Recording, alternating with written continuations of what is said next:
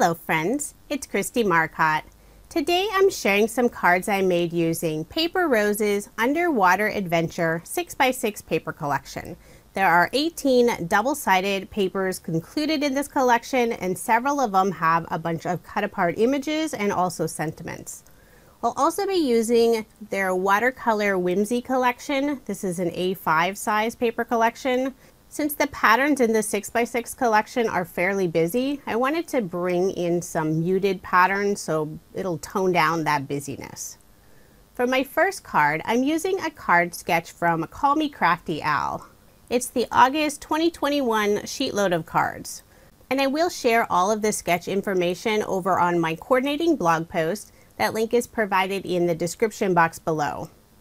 So for this first card, I'm using two of the watercolor whimsy papers. I have this blue paper for the background, layering it on some dark blue cardstock.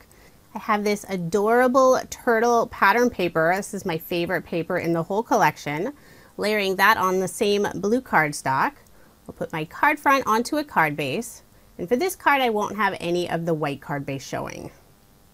I'm also not following the sketch measurements exactly. Instead of the fourth of an inch for those matted layers, I switched it to an eighth of an inch. I prefer the thinner layer, but if you like that wider matted layer, you can definitely use that fourth of an inch. For that small rectangle, I used some more of that watercolor whimsy paper, this time in orange, layered it on some orange cardstock, and then I'll be adding a stitched oval die cut. And I used some white shimmer cardstock for that, just for a little extra detail on the card.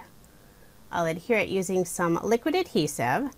As I mentioned earlier, there are lots of image cut-aparts included in the collection. There's also one sheet of sentiment and image cut-aparts. So I've just fussy cut these out using a pair of scissors. I'll be adding a row of the underwater plants at the very lower portion of this orange rectangle. Some of the plants I did pop up with some thin foam squares and the others I'll just glue down directly. I selected plants in the same color as that turtle pattern paper. There's a lot of other colors in this paper collection. And I'm trying to mix and rotate the different styles and colors of each of the plants.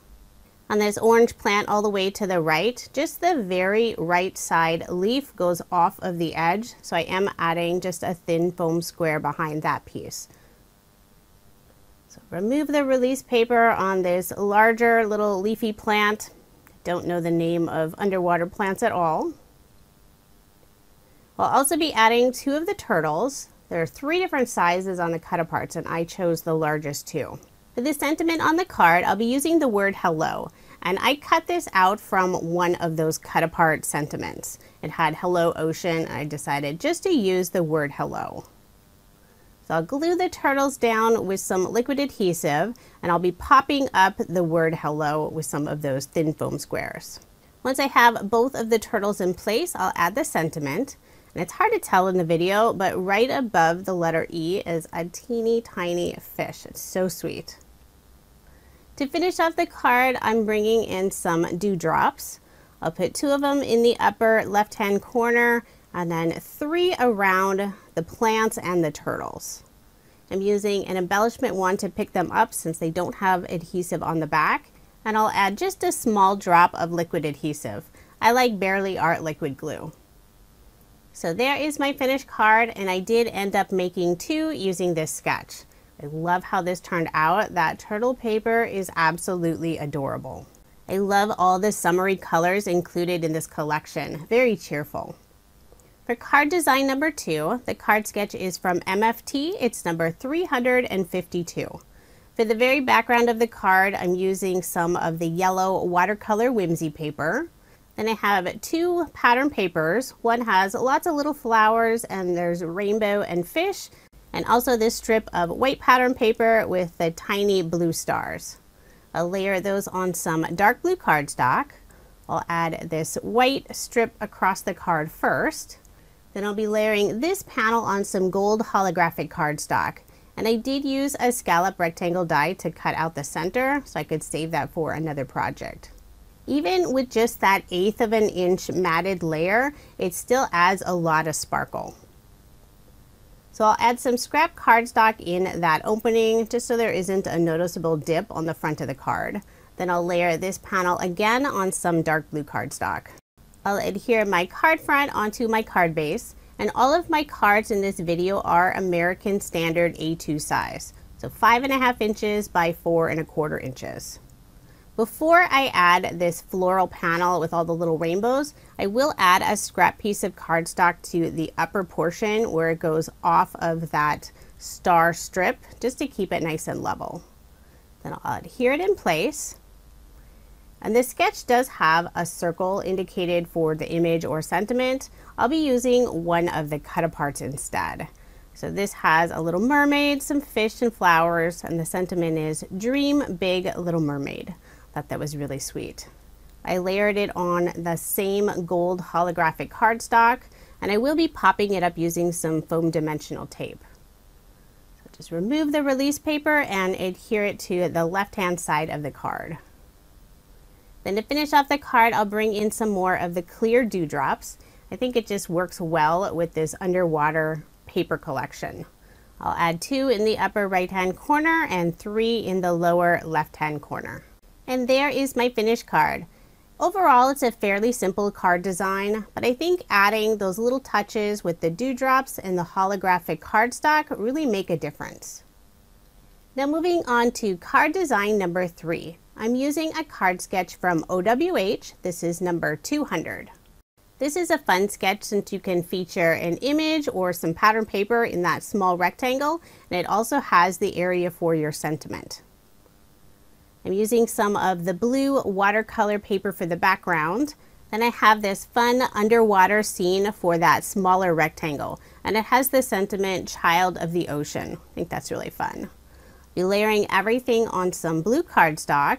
And for the wider strip that goes across the card, I'm using the white paper with the small red starfish and then just a thin strip of the red watercolor paper, layering those on some red cardstock. So I'll add that strip first. I love the colors on this card, mostly primary colors. I'll layer that background panel on some blue cardstock that's a little brighter blue than the previous cards, more of a royal blue color. Put my card front onto a card base, and for this card I do have just that eighth of an inch of the white card base showing. And I did change up the measurements again for this sketch. The sketch does show those fourth of an inch matted layers and I just trimmed them down to an eighth of an inch. That's one thing I love about using card sketches. You can follow them exactly or you can change them up and really just use them for inspiration. I am adding some of those scrap pieces of cardstock before adhering this small rectangle piece. Put some liquid adhesive on the back and adhere it to the card. For the sentiment on the card, I'll be using one of the sentiment sheets by Paper Rose. This is the Really Rainbow Collection. The blue matches perfectly with this card. And the sentiment I selected is just a card to say you're awesome. I did cut the right side at an angle just for some extra interest. And since I didn't want that sentiment getting lost with all those busy papers, I did layer it on some white shimmer cardstock. Before adhering it to the card, I'll add those scrap pieces of cardstock to the right side where it goes off of that underwater fish pattern paper. I'm using cardstock and also a scrap of the pattern paper. That way it's at the exact same level. And I decided to cover up one of the Child of the Ocean sentiments. I'll also be adding several of the cut aparts. I have a few of the plants and this sweet little yellow and red fish. I'll tuck the plants behind the sentiment. I am trimming the very bottom so it's straight. And then I'll just glue them in place. I decided to pop up the little fish, so I have some thin foam squares on the back. I'll remove the release paper and adhere it in front of all of those little plants and right above the sentiment. Then to finish off the card, I'll bring in some more of the dewdrops. I'll put two of them underneath the sentiment toward the right and one above the sentiment on the left. With all of those busy patterns, I didn't think the card needed anything else. So there is my finished card and again I did make two using this sketch. I really like how all three cards turned out, but I think the turtle card is my favorite. Those turtles are adorable. Now here's another look at the six cards I made using Paper Roses Underwater Adventure Paper Collection. This collection is so fun, lots of great patterns, cut apart images, and also sentiments. It's perfect for making some fun summery cards.